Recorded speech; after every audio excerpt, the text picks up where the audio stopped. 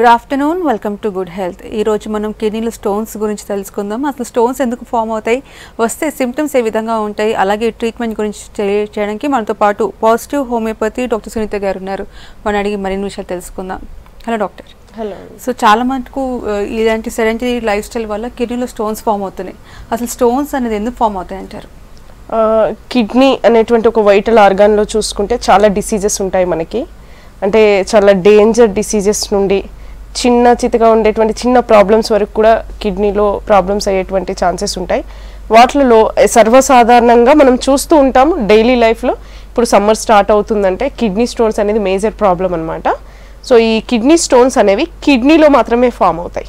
ఎక్కడో బాడీలో ఫామ్ అయిపోయి కిడ్నీలో ఇరుక్కొని ఇలాంటిది కాదనమాట అది కిడ్నీలోనే ఫామ్ అయిపోయి దాని ద్వారా అది వివిధ రకాలైనటువంటి స్టోన్స్ ఫామ్ అవుతాయి. ఆ కిడ్నీలో ఫామ్ అయినటువంటిది అక్కడే ఉండి స్ట్రక్ అయి ప్రాబ్లం చేయొచ్చు. లేదా కిడ్నీ నుండి కిందికి వచ్చేటువంటి యూరేటర్స్ అంటారు. అంటే మూత్ర నాళాలు వాటి ద్వారా కిందికి ప్రవేశించవచ్చు వాటి యొక్క సైజుని బట్టి అది అక్కడే స్ట్రక్ అవ్వడము దాని యొక్క మార్ఫాలజీ అంటే అది రౌండ్గా ఉందనుకోండి బయటికి వెళ్ళిపోయేటువంటి అవకాశం ఉంటుంది. అలా కాకుండా ఎడ్జెస్ ఉండి లేదా అది జిగ్జాగ్ కండిషన్లో uh, మార్ఫాలజీ ఉంటే అది లోకల్గా అక్కడ ఇన్ఫ్లమేషన్ కూడా వచ్చేటట్టుగా స్ట్రక్ అయిపోవడం జరుగుతూ ఉంటుంది.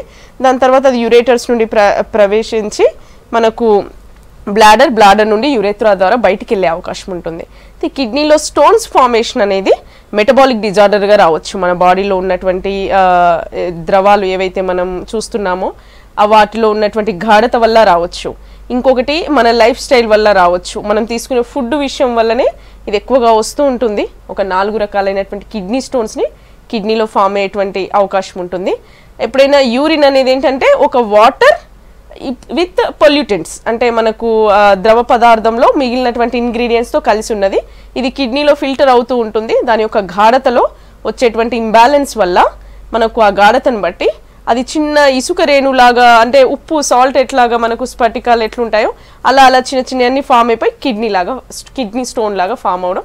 దాని ద్వారా కిడ్నీ స్టోన్స్ అన్నపడి బయటికి విసర్జించబడడం అనేది జరుగుతూ ఉంటుంది. చాలా ప్రాబ్లమెటిక్గా కూడా అనిపిస్తుంది. మేల్స్ ఎక్కువగా దీనికి ప్రాబ్లం ఉంటుందన్నమాట. మనకి వీళ్ళకి ఒక మూడంతులు వీళ్ళుంటే ఫీమేల్స్లో ఒక వంతు మాత్రమే ఉంటుందన్నమాట. ఎక్కువగా మేల్స్లోనే ఈ స్టోన్స్ అనేవి ఫామ్ అవుతూ ఉంటాయి. ఓకే వరంగల్ నుంచి కాలర్ ఉన్నారు. Hello hello? హలో? చెప్పండి ప్రాబ్లం చెప్పండి డాక్టర్ గారు ఉన్నారు. హలో? హలో? చెప్పండి ప్రాబ్లం చెప్పండి. నమస్తే డాక్టర్ గారు. నమస్కారం అండి చెప్పండి. మేడం మేడం నాకు ఒక ఫైవ్ ఇయర్స్ నుంచి వెళ్ళి కిడ్నీలో రాళ్ళు సార్ మేడం. ఓకే. ఈ eight mm size seven mm size అన్నారు మేడం. ఓకే. ఇప్పుడు కూడా పాజిటివ్ పాజిటివ్ హోమియోపతి అని ఇక్కడ రాజమండ్రిలో చూయించుకున్నాం మేడం ఒకసారి. ఓకే. అప్పుడు కూడా ఏమో అనిపించలేదు మేడం. ఇంకోటి వరంగల్లో కూడా చూయించుకున్నాం మేడం. ఓకే.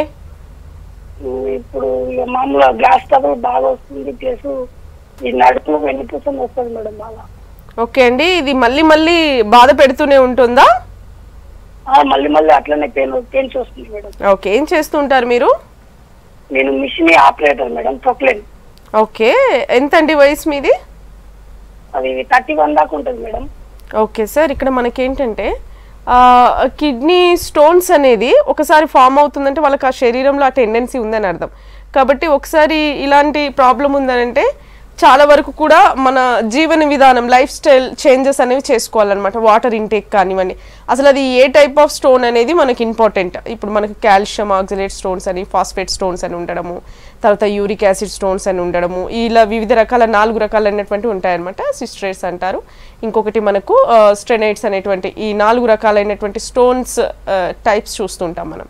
అయితే మీకున్నటువంటిది ఏది? దాని సైజ్ ఎంత? సెవెన్ ఎంఎం అన్నారు. అంటే ఒక సెంటీమీటర్కి ఒక త్రీ ఎంఎం తక్కువ అనమాట సో అంత ఉంటుంది ఆ స్టోన్ అది ఎలా ఉంటుంది? దాని మార్ఫాలజీ మనం చెప్పుకున్నట్టుగా అది ఇంపార్టెంట్ అది ఎక్కడ స్ట్రక్ అవుతుంది అనేది చాలా ఇంపార్టెంట్ ఇప్పుడు కిడ్నీలోనే అది ఉండిపోవడం జరుగుతూ ఉంటే ఇప్పుడు ఆ ఫిల్టరేషన్ రేట్ నుండి కిందికి అది ప్రవహిస్తూ ఉంటుంది. ఎక్కడ స్ట్రక్ అవుతుంది?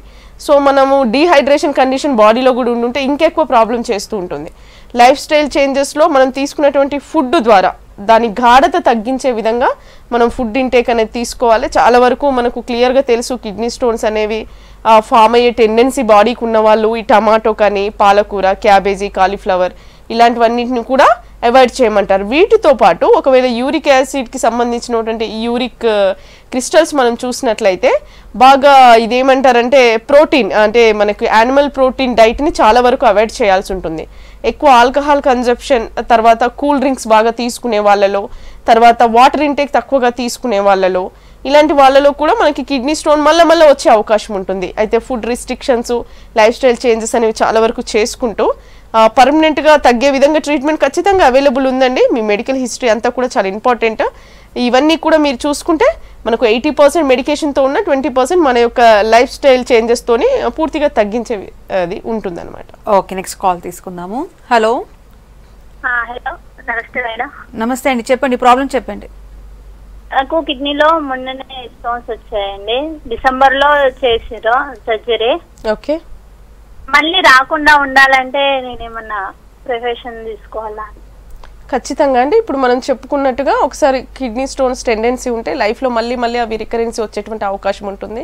ఇది మనకు మన పేరెంట్స్ నుండి కానీ మన వాళ్ళ నుండి కానీ రావచ్చు లేదా ఇండివిజువల్గా మన పర్సనాలిటీ వల్ల కూడా మనకి ఇది వచ్చే అవకాశం ఉంటుంది. అది తెలుసుకోవాలి. అది ఏ టైప్ ఆఫ్ స్టోన్ అనేది మనం గుర్తించగలగాలి? ఇన్వెస్టిగేషన్స్లో తెలిసిపోతుంది. అయితే మనకు ఆ సిమ్టమ్స్ క్లియర్ కట్టే తెలుస్తాయి. పొత్తి కడుపులో నొప్పి వస్తుందా? మూత్రంలో ఇన్ఫెక్షన్ వరకు కూడా అది బాధించే రకంగా ఉంటుందా? బయటికి పోకు బయటికి పోకుండా దాని యొక్క సైజ్ ఇదంతా కూడా ఇంపార్టెంట్ మనం అనుకున్నట్టు వాటర్ ఇంటేక్ ఎక్కువగా ఉండడము. అలాగే డైట్లో కేవలం మీకు తెలిసిన రెండు మూడే కాదు ఇంకా ఏంటి? ఎగ్ కానివ్వండి ఫిష్ కానివ్వండి ఇవి కూడా కొంతమందికి కొన్ని రకాలైనటువంటివి ఏర్పరుస్తుంటాయి. ఫీమేల్స్లో ఎక్కువ వరకు అమోనియా కాంపోనెంటెడ్గా ఉన్నటువంటివి కూడా అంటే కాల్షియం ఆక్సిలేట్స్తో పాటు అమోనియా కాంపోనెంట్కి సంబంధించింది కూడా ఫీమేల్స్లో ఒక రకమైనటువంటి కిడ్నీ స్టోన్స్ వస్తాయన్నమాట. సో అదంతా మనకు ఫిష్ కానివ్వండి మీట్ కానివ్వండి వీటిలలో ఎక్కువగా ఫామ్ అయ్యే అవకాశం ఉంటుంది. Milk and milk products including curd పెరుగు కూడా. అలా అలాగా కొంత కొన్ని ఫుడ్ వల్ల ఎక్కువగా ఫామ్ అయ్యే అవకాశం ఉంటుంది. అది గుర్తించి వాటిని అవాయిడ్ చేస్తే మీకు ఇది పూర్తిగా తగ్గిపోయే అవకాశం ఉంటుంది. ఓకే డాక్టర్ సో ఇందాక మీరు చెప్పంటే లొకేషన్ ఇస్ వెరీ ఇంపార్టెంట్ అనేసి. సో ఏ సైజ్ వరకు ఇట్ ఈస్ ట్రీటబుల్ అంటారు? ఏ సైజ్ దాటితే మీకు అది చాలా ప్రాబ్లమేటిక్గా సీరియస్ డిజార్డర్గా కన్సిడర్ చేయొచ్చు అంటారు. అండ్ అలాగే ఎటువంటి లొకేషన్లో ఉన్నప్పుడు ఈజీగా ఉంటుంది. ఎటువంటి లొకేషన్లో ఉన్నప్పుడు ఇట్స్ వెరీ టఫ్ అని చెప్తారు. జనరల్గా ఈ కిడ్నీలో స్టోన్స్ ఏర్పడతాయి. అది మనకు ఆ ఫిల్టరేషన్ ఎక్కడ అవుతుంది అది ఎక్కడ ఏర్పడుతుంది సైట్ ఇంపార్టెంట్ ఒకసారి అక్కడ వెళ్ళేటువంటి మార్గంలో కాకుండా సైడ్కి అట్లా స్ట్రక్ అయిపోయినప్పుడు దాని మార్ఫాలజీ మనం చెప్పుకుంటున్నాం. ఏదన్నా ఇట్లా ర్యాగ్డ్ మనకి ఉంటే అంటే పూర్తిగా ర్యాగ్డ్ ఎడ్జెస్తో ఉంటే అక్కడ లోకల్గా అది ఇన్ఫెక్షన్ కలుగజేసే విధంగా ఉంటుంది. అది గుచ్చుకోవడం వల్ల కానివ్వండి అక్కడ లోకల్గా చాలా స్మూత్ లేయర్స్ ఉంటాయి కాబట్టి మనకు యూరిన్లో బ్లడ్ అది వస్తుందా? యూరిన్ ఎల్లో ఆర్ మనకి రెడ్ కలర్లో యూరిన్ ధరకు వస్తుంది అంటే అలాంటి స్టోన్స్ సైజు చాలా ఇంపార్టెంట్ అనమాట ఇమీడియట్గా దానికి అది చివరికి తగ్గిపోయేలాగా సైజ్ తగ్గిపోయేలాగా ట్రీట్మెంట్ అవైలబుల్ ఉంటుంది. ఆ రకంగా మనం తీసుకోవాల్సి వస్తుంటుంది. ఆ రేడియేటింగ్ పెయిన్ నడుము నుండి కింద పొత్తి కడుపు పొత్తి పొత్తి కడుపు నుండి గజ్జల్లోకి రావడము అలాంటి సిమ్టమ్స్ వచ్చి ఇది రావడమే కాదు ఇది మనకు అవర్స్ టు డేస్ వరకు కూడా ఉంటుంది. సింపుల్ మినిట్స్లో అలా వచ్చి రిఫర్డ్ పెయిన్ లాగా మళ్ళీ తిరిగి వచ్చే అవకాశం ఉంటుంది. ఇలా వచ్చినప్పుడు మాత్రం అది ఖచ్చితంగా చాలా ప్రాబ్లమేటిక్గా ఉంటుంది కాబట్టి రికరెంట్గా వచ్చే అవకాశం ఉంటుందని మనం ఇమీడియట్గా ట్రీట్మెంట్ తీసుకోవాలి. అదే యురేటర్స్లో స్ట్రక్ అయి ఉందనుకోండి అది పూర్తిగా అక్కడ మనకి అంతా కూడా స్పాస్మోడిక్ పెయిన్ వస్తూ ఉంటుంది. అంటే పట్టేసినట్టు వస్తూ ఉంటుంది అనమాట అండ్ ఒక కొంతమందికి ఇన్ఫెక్షన్ వచ్చి అది ఒకవేళ యురేటర్స్ నుండి మనకి బ్లాడర్ వరకు వచ్చి అక్కడ స్ట్రక్ అయి ఉంటే మనకు కొద్దిగా చీము లాంటిది కూడా మనకు యూరిన్లో వచ్చే అవకాశం ఉంటుంది ఎపిథీలియల్ సెల్స్తో సహా.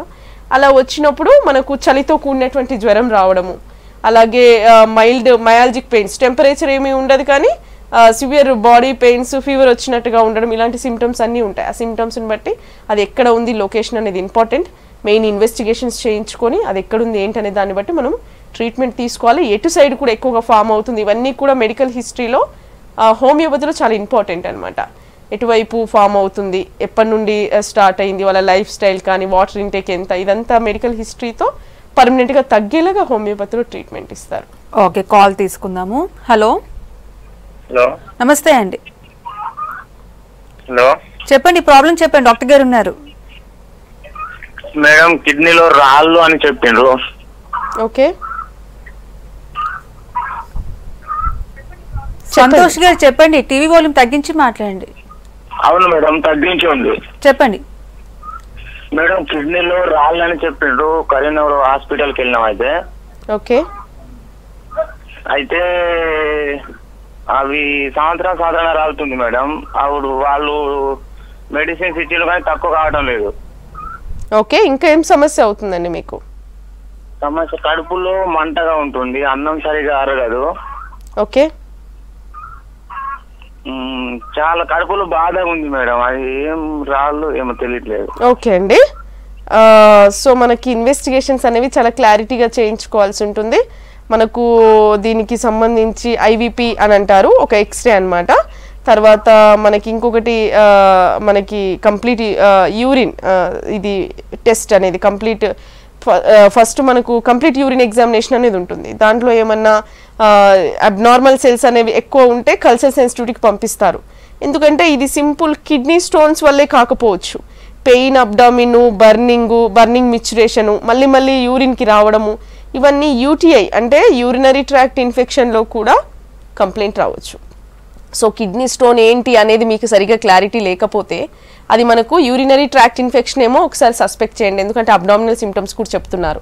అనీజీగా ఉంటుంది పొట్టంతా పట్టేసినట్టు ఉంటుంది. కాబట్టి యూటీఐ ఏమన్నా ఉందా? కంప్లీట్ యూరిన్ ఎగ్జామినేషన్ దాని తర్వాత కల్చర్ సెన్సిటివిటీ అలాగే మనకి ఇది మనకు డిఫరెంట్ డయాగ్నోసిస్ తెలుసుకోవడానికి మనం ఏం చేస్తామంటే మనకి కంప్లీట్ ఇది చేస్తామన్నమాట. స్కాన్ అబ్డామిన్ చేస్తాం. దాని ద్వారా మీకు క్లియర్గా తెలుస్తుందండి. ముందు అసలు ఏంటి ప్రాబ్లం అనేది మీరు డయాగ్నోసిస్ చేసుకుని దాని తగ్గట్టుగా ట్రీట్మెంట్ తీసుకోవాలి. ఓకే నెక్స్ట్ కాల్ తీసుకుందాము. హలో హలో నమస్తే అండి. నమస్తే మేడం. చెప్పండి ప్రాబ్లం చెప్పండి. మేడం నా- నా age twenty eight madam. Okay అయితే నాకు ట్వంటీ త్రీ ఇయర్స్ ఉన్నప్పుడు గ్యాలీ బాటర్ స్టోన్స్ అయినాయని సర్జరీ చేసింది మేడం. ఓకే అయితే ఇప్పుడు twenty nine madam. Okay age మళ్ళీ ప్యాంక్రియాస్లో స్టోన్స్ అయినాయని చెప్తుంది మేడం. ప్యాంక్రియాస్లో స్టోన్స్ అయినాయి అన్నారు. ఓకే సార్ ఎంత ఏం ఇబ్బంది అవుతుంది మీకు? డైజెషన్ అవుతుంది కడుపు నొప్పి. ఓకే దేనివల్ల వచ్చిందని చెప్పారు? ప్యాంక్రియాస్ నైన్ నైన్ ఎంఎం అదే ప్రాబ్లం దేనివల్ల వచ్చింది అన్నారండి నేను డిక్లేర్ ఏం చెప్పలేరు మేడం. ఓకే అండి ఓకే ఇక్కడ మనకు కేసు వచ్చేసి కోలిలిథియాసిస్ కేసు అనమాట అంటే గాల్ బ్లాడర్లో స్టోన్స్ ఏర్పడడం. అంటే ఇది డైజెస్టివ్ ట్రాక్ట్కి సంబంధించి జిఐటి అనమాట గ్యాస్ట్రో ఇంటెస్టైనల్ ట్రాక్లో కేవలం మౌత్ నుండి యానల్ రీజన్ అంటే పాయు మోషన్ వెళ్ళే వరకు ఉన్నటువంటి గట్ని మనం జిఐటి అంటాము. ఈ గ్యాస్ట్రో ఇంటెస్టైనల్ ట్రాక్ట్తో లివరు లివర్కి సంబంధించినటువంటిది దాంతోపాటు ప్యాంక్రియాస్ ఇది కూడా మనకు కోలి కో రిలేటెడ్గా అవన్నీ కలిసి పనిచేస్తేనే డైజెషన్ అవుతుందన్నమాట. ఇది డైజెస్టివ్ సిస్టమ్కి సంబంధించిన సమస్యగానే మనం పేర్కొంటాం. అయితే మీకు వచ్చేసి గాల్ బ్లాడర్లో స్టోన్స్ రావడం అనేది ఏంటంటే పైత్యరసం ఏదైతే బయలురూబిన్ బయలువిరిడిన్ అనేటువంటి వర్ణకాలని విడుదల చేసే పైత్యం ఏదైతే ఉంట అంటే మనం అనుకున్నటువంటి ఆ బిలి బిలియస్ అనమాట అది మనం వామిటింగ్ చేసుకుంటే ఎల్లో ఇష్ వస్తుంది కదా అది. ఈ బైల్ అనేది థిక్ నేచర్గా ఉండి అది డైజెషన్కి యూజ్ అవ్వకుండా అంటే అది మళ్ళీ సీక్రిషన్స్ ద్వారా వెళ్ళి కామన్ బైల్ డక్ ద్వారా వెళ్ళి మనకి గట్లో కలిసిపోవాలి డైజెషన్ అప్పుడు. కలిసిపోయి బయటికి వెళ్ళిపోవాలి. అందుకే మనకి యూరిన్ మోషన్ ఎల్లో కలర్లో వస్తూ ఉంటుంది అనమాట ఈ పిగ్మెంట్స్ అనేవి అందులో ఉంటాయి కాబట్టి. సో వీటిలలో అబ్స్ట్రక్షన్ ఏర్పడి మీకు స్టోన్ ఫామ్ అయింది. ఆ స్టోన్ ఫామ్ అవడమే కాక పక్కనే ఉన్నటువంటి దానికి దీనికి కనెక్షన్ ఉన్నటువంటి ప్యాంక్రియాజ్ అనేటువంటిది ఏదైతే మనం చూస్తున్నామో అందులో స్టోన్స్ లాగా ఫామ్ అవడం అంటే దాంట్లో కూడా ఆ చేంజెస్ వచ్చింది. స్ట్రక్చరల్ చేంజెస్ వచ్చిందా? కేవలము దాంట్లో వచ్చినటువంటి మార్ఫలాజికల్ చేంజెస్ మనం క్లియర్ కట్గా తెలుసుకోవాల్సి ఉంటుంది. మీరు మీ రిపోర్ట్స్తో వచ్చి ఒకసారి కన్సల్ట్ అవ్వండి. డీటెయిల్గా మీ మెడికల్ హిస్టరీ రిపోర్ట్స్ ఏం చెప్తున్నాయి దాన్ని బట్టి హోమియోపతిలో ఎంతవరకు స్కోప్ ఉంది ఎలాంటి ట్రీట్మెంట్ అవైలబుల్ ఉందో మేము క్లియర్గా చెప్తామమ్మా. మీ రిపోర్ట్స్తో వచ్చి ఒకసారి పాజిటివ్ హోమియోపతి క్లినిక్ కన్సల్ట్ అవ్వండి. ఓకే నెక్స్ట్ కాల్ తీసుకుందాము. హలో. హలో నమస్కారం మేడం. నమస్తే అండి చెప్పండి సమస్య చెప్పండి. నా కిడ్నీ స్టోన్ ఫిఫ్టీన్ ఎంఎం ఉంది. ముందు ఒకసారి బ్లాస్ట్ అయింది. మళ్ళీ ఫిఫ్టీన్ ఎంఎం కట్టింది ఓకే. ఇప్పుడు ఆ యూరిన్ బాగా ఇన్ఫెక్షన్ అయింది. మస్తు ప్రాబ్లం అవుతుంది ఓకే. మీ వయసు ఎంతండి? మా వయసు ఇరవై తొమ్మిది సంవత్సరాలు. ఎప్పటి నుండి ఉంది ఈ సమస్య? ఐదు సంవత్సరాలు అవుతుంది ఒకసారి బ్లాస్ట్ అయింది వరంగల్ ఓకే. ఒక సైడ్ అయింది. ఎడమ సైడ్ మళ్ళీ వచ్చింది ఫిఫ్టీన్ ఎంఎం ఉంది. ఓకే అండి. ఓకే ఇది స్టోన్ ఫామ్ అయిన తర్వాత మనం ఏం చేస్తామంటే దాని యొక్క సైజుని బట్టి అది దానికి రేడియోథెరపీ ద్వారా కానివ్వండి లేదా మనం ఇచ్చేటువంటి మెడికేషన్ ద్వారా కానివ్వండి దాన్ని చిన్న సైజుగా చేసి బయటికి పంపించేటువంటి మెథడ్స్ ఇప్పుడు టెక్నాలజికల్ చాలా వచ్చాయన్నమాట ఆ టెక్నిక్స్ అన్నీ కూడా. అయితే వీటన్నింటిని పక్కన పెడితే ఆ చిన్న చిన్నగా ఫామ్ అయ్యి పెద్ద స్టోన్గా ఫామ్ అయ్యేటువంటి టెండెన్సీ ఉన్న వాళ్ళు చాలా జాగ్రత్తగా ఉండాలి. ఒకసారి ఆపరేషన్ చేసి దాన్ని తీసేసినా కానీ మళ్ళీ వచ్చేటువంటి అవకాశం ఉంటుంది అనమాట అది ఫామ్ అవ్వకుండానే మన శరీరంలో ఉన్నటువంటి ఆ ఇంబ్యాలెన్సెస్ లిక్విడ్ ఇంబ్యాలెన్సెస్ ఏవైతే ఉన్నాయో వాటిని సరి చేసుకునేలా చూడాలండి. ఫిఫ్టీన్ ఎంఎం mm అంటే కొంచెం పెద్ద సైజు అది ఎక్కడ ఉంది ఎలాంటి ఇబ్బంది కలగజేస్తుంది? అంటే ఈ కిడ్నీ స్టోన్స్ ఉన్న వాళ్ళు నొప్పి ఈ recurrent infections urinary tract infections అంటే అక్కడ అంతా కూడా స్ట్రక్ అయిపోయి చీము బ్లడ్ అంతా బయటకు వస్తుంది పస్. కాబట్టి అక్కడ ఇన్ఫెక్షన్ వచ్చేటువంటి అవకాశం ఉంటుంది. ఇలా వచ్చిన వాళ్ళు ఏం చేయాలంటే ఫర్దర్ ఇన్వెస్టిగేషన్స్ తరువుగా చేయించుకొని ట్రీట్మెంట్ పర్మనెంట్గా తీసుకోవాలి. లేదు అంటే మళ్ళీ మళ్ళీ రికరెంట్గా వచ్చేటువంటి అవకాశం ఉంటుంది. ఇంత సైజు ఉన్నప్పుడు అది ఏ రకమైనటువంటి కిడ్నీ స్టోన్ అనే దాన్ని బట్టి మనకు మెడికల్ హిస్టరీ ద్వారా ట్రీట్మెంట్ అవైలబుల్ ఉందమ్మా? వచ్చి మీరు ఒకసారి కన్సల్ట్ అవ్వండి. ఓకే డాక్టర్ సో ఇందాక మీరు చెప్పారు four types of kidney stones form అవుతాయి and depending upon the composition of the kidney stone treatment ఉంటుంది. ఇప్పుడు ఫర్ ఎగ్జాంపుల్ యూరిక్ యాసిడ్తో స్టోన్స్ ఫామ్ అయ్యి అనుకోండి. సో దానికి మళ్ళీ మళ్ళీ టెండెన్సీ రాకుండా ట్రీట్మెంట్ ఆ విధంగా ఉంటుందా? ఖచ్చితంగా అండి. అసలు యూరిక్ యాసిడ్ స్టోన్స్ ఏర్పడ్డాయి అని అంటేనే మనకి వాళ్ళలో ఉన్నటువంటిది ఏదైతే సాల్ట్స్ అంటే బై ప్రోడక్ట్గా ఏర్పడేటువంటి యూరిక్ యాసిడ్ జీవన క్రియల వల్ల ఏర్పడినటువంటి ఉత్పత్తులన్నీ కూడా బయటికి ఎక్స్క్రీట్ అయిపోవాలన్నమాట.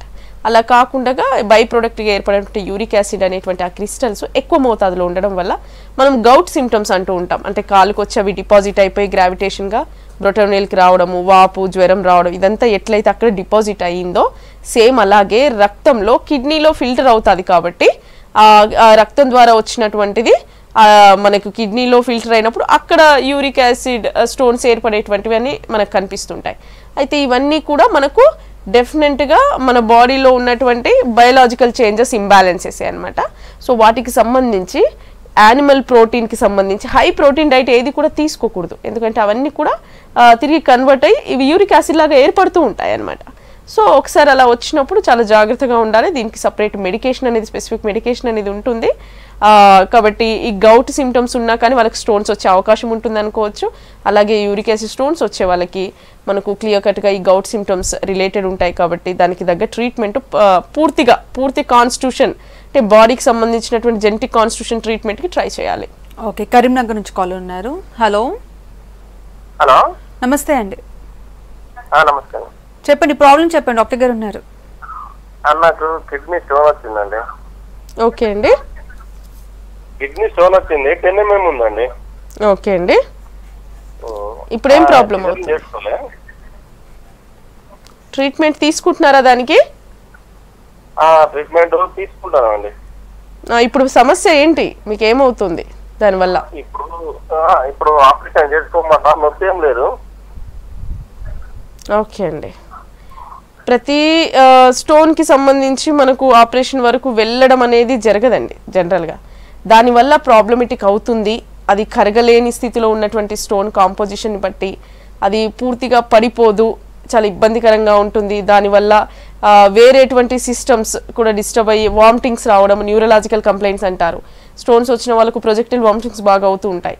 దాంతోపాటు రికరెంట్ ఇన్ఫెక్షను జ్వరము ఇలాగ జనరల్ హెల్త్ కూడా పూర్తిగా ఖరాబ్ అవుతూ అది చాలా గట్టి స్థితిలో కరగని స్థితిలో ఉన్నటువంటి స్టోన్ లాంటిది అంటే మాత్రమే మనం ఆపరేషన్ వరకు వెళ్తాం జనరల్గా బట్ దాన్ని కూడా మనం తగ్గించి అంటే అది కూడా సాఫ్ట్న్ అయిపోయి మనకు స్టోన్ పోయేలాగా మనకు హోమియోపతిలో ట్రీట్మెంట్ ఉంటుందండి. మీరు ఆపరేషన్ వరకు వెళ్ళాల్సిన అవసరం లేదు ఒకసారి వచ్చి కలవండి. అంటే దాన్ని బట్టి మనకు ట్రీట్మెంట్ అనేది అవైలబుల్ ఉంది. Okay so summer season start అయింది డిహైడ్రేషన్ ఎక్కువగా ఉంటుంది. సో ఇట్- ఇటువంటి వాళ్ళు డిహైడ్రేషన్కి ఆల్రెడీ డిహైడ్రేటెడ్ ఉన్న పేషెంట్స్ కూడా ఉంటారు. సో ఎటువంటి కేర్ తీసుకోవాలంటారు ఈ సీజన్లో కిడ్నీ స్టోన్స్కి సంబంధించి? ఖచ్చితంగా అండి. ఇప్పుడు సమ్మర్ స్టార్ట్ అయింది. డీహైడ్రేషన్ అనేది స్వెట్టింగ్ రూపంలో కానివ్వండి మెటబాలిక్ తొందరగా మనకు యాక్టివేట్ అయ్యేటువంటి బాడీలో వచ్చేటువంటి న్యాచురల్గా యాక్టివేషన్ ఎక్కువగా ఉంటుంది కాబట్టి వాటర్ యూసేజ్ ఎక్కువగా ఉంటుంది. ఎంత లాస్ ఉంటుందో అంత రీ మనకు తిరిగి మళ్ళీ రీస్టోర్ అవుతూ ఉండాలి. ఇలా అవ్వనప్పుడే మనకు కెమికల్ చేంజెస్ వచ్చేసి స్టోన్స్ లాగా ఫామ్ అవుతాయి. అయితే వీటిలలో ఆ మూడు రకమైనటువంటి స్టోన్స్ ఈ డీహైడ్రేషన్ వల్లనే ఫామ్ అయ్యేటువంటిది అనమాట అందుకనే మనకు సెలెన్లు ఎక్కుతూ ఉంటాయన్నమాట. ఆర్గానిక్ ఫెయిల్యూర్ కూడా కాకుండా మనకు అంటే ఇమీడియట్గా మాయిశ్చర్ ఉండాలనేసి.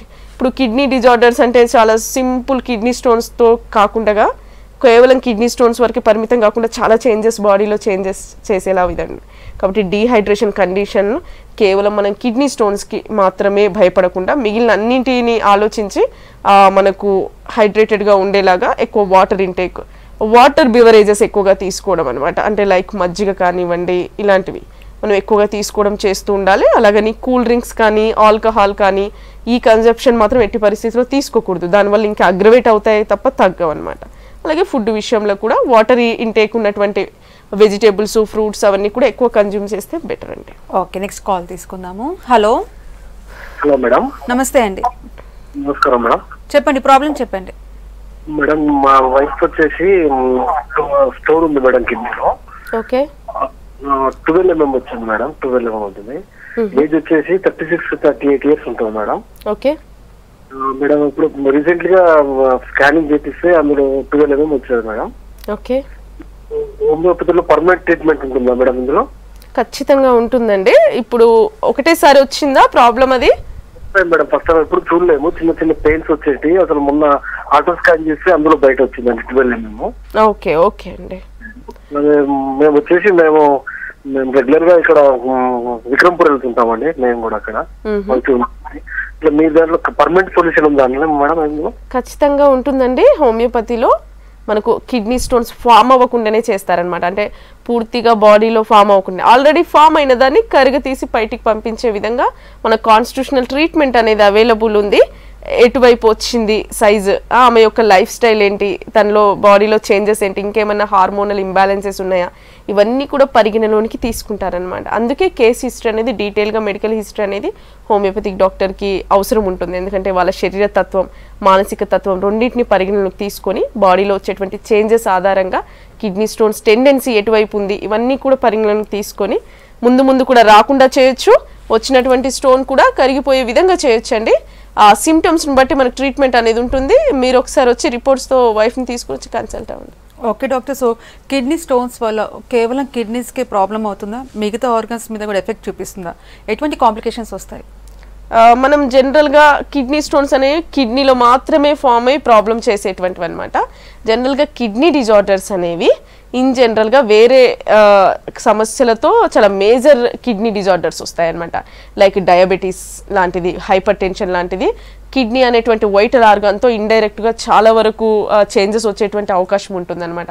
సీకేడీ వరకు షుగర్ ఎక్కువైపోయి క్రానిక్ కిడ్నీ డిసీజ్ వరకు పర్మనెంట్ ఇర్రివర్సబుల్ చేంజెస్ వల్ల kidney failure acute kidney failure వరకు పూర్తిగా అయ్యేటువంటి అవకాశాలు మెటబాలిక్ డిజార్డర్స్గా బాడీలో అన్నిటితో సంబంధం ఉంటుంది. బట్ ఈ కిడ్నీ స్టోన్స్ అనేవి మాత్రం కేవలము మన జీవన రసాయనాలు మన బాడీ యొక్క నేచర్ మనం తీసుకునే డైట్ వీటితో కిడ్నీలో మాత్రమే మనకు కాంప్లికేషన్ చేసేవి. వాటిని మనం నెగ్లెక్ట్ చేస్తూ ఉంటే రికరెంట్ యూరినరీ ట్రాక్ట్ ఇన్ఫెక్షన్స్ రావడము. ఊరికే అంటే వాళ్ళకు ఆ సిమ్టమ్స్ చాలా సివియర్ ఫామ్లో మనకి రికరెంట్ మిచ్యురేషన్ అనమాట పాలియూరియా అంటారు. అలాగే మనకి హిమచూరియా అంటే అక్కడ మనకి ఆ స్టోన్ ఫార్మేషన్ ఇన్ఫెక్షన్ వల్ల బ్లడ్ రావడం అనేది ఆ స్టోన్ గుచ్చుకోవడం వల్ల. తర్వాత విపరీతమైన నొప్పి డిస్కంఫర్ట్ ఉండడము అబ్డామినల్ డిస్కంఫర్ట్ జ్వరం వచ్చినట్టుగా ఉండడం ఒక్కొక్కసారి నాజియేషన్ వామిటింగ్స్ న్యూరలాజికల్ కంప్లైంట్స్ కూడా ఉండడం అనేది కాంప్లికేషన్స్లో అంటే దీన్ని నెగ్లెక్ట్ చేస్తూ ఉంటే సివియర్ ప్రాబ్లం అనేది రోజుల తరబడి ఉండి చాలా డిస్టర్బ్ చేస్తూ ఉంటుంది. ఓకే సో ఓవరాల్గా కిడ్నీ స్టోన్స్కి సంబంధించి హోమియోపతిలో మంచి ట్రీట్మెంట్ అందుబాటులో చెప్తున్నారు. థ్యాంక్ యూ సో మచ్ అండి. ఇది వాళ్ళ గుడ్ హెల్త్కి వాచింగ్ వేసిక్స్ న్యూస్